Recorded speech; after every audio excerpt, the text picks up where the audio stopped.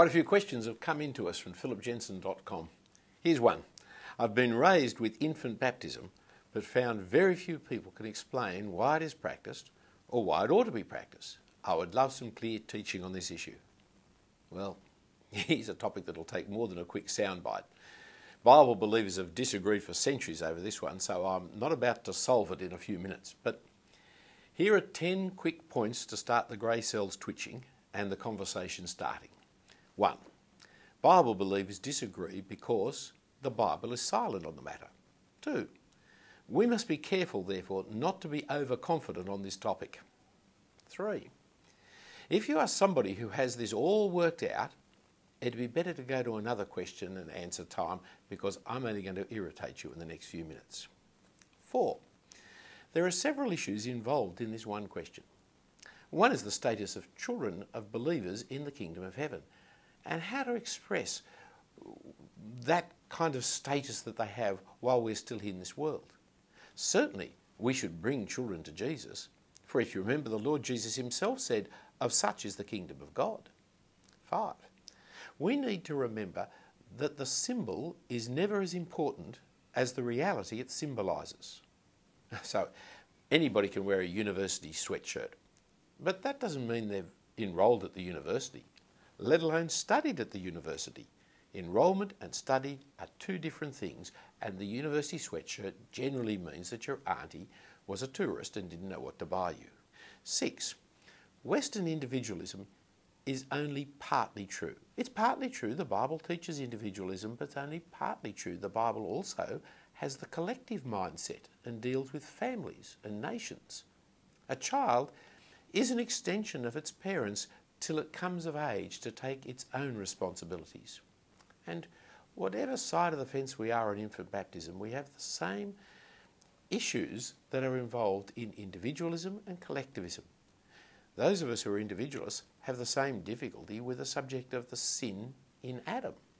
To individualists, this is a very strange idea. But if you see yourself as part of something bigger, that is the family, or the family of humanity, well, then it's not such a problem. Seven. Another issue is the relationship of the reality and the symbol.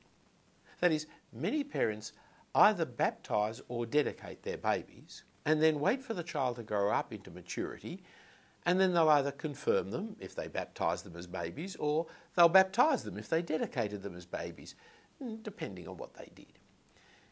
It all means much the same thing, the reality but the symbol is applied at a different point. Both systems require making up something that's not in the Bible, either the confirmation service, which is nowhere in the Bible, or the dedication service, which is nowhere in the Bible, because both systems speak of the same reality. As a child, the child as a baby is the responsibility of the parents. As a young adult, they have to take responsibility for themselves.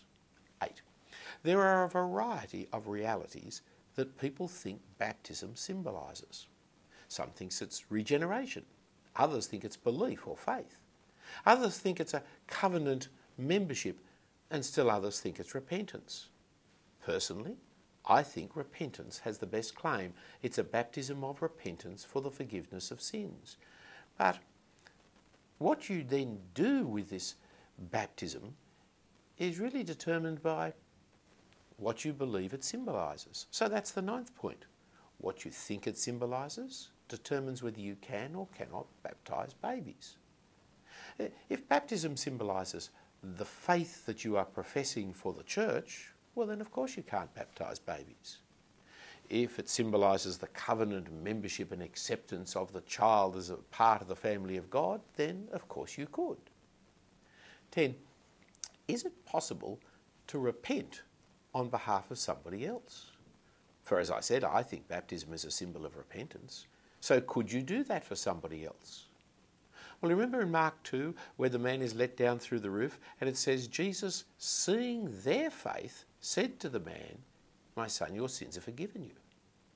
Or remember in 1 John 5 where it talks about praying for the sin that doesn't lead to death, but you're praying for somebody else that you see sinning.